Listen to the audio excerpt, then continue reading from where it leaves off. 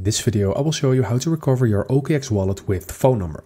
So if you want to recover your OKX account with your phone number, then this is what you need to do. So first of all, we're going to click on login from our OKX wallet home tab. And then from here, we are going to click on this question mark sign at the top right. And then we're going to click on reset authentication method. So let's go and click on this. And then in here, you need to fill in your phone number that is linked to your account.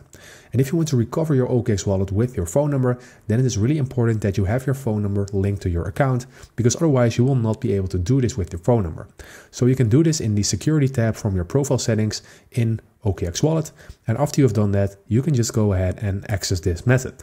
So I'm just going to fill in my phone number and then I'm going to click on next. After you have done that, you will see all of your authentication methods popping up in here.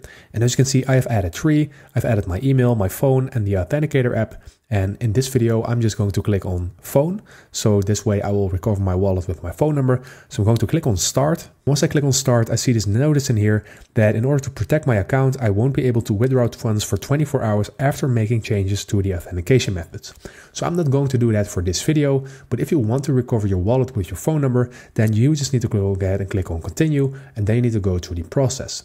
So that is basically how you do it. I hope this video helped you out. Please leave a like and consider subscribing, and then I will see you in the next one.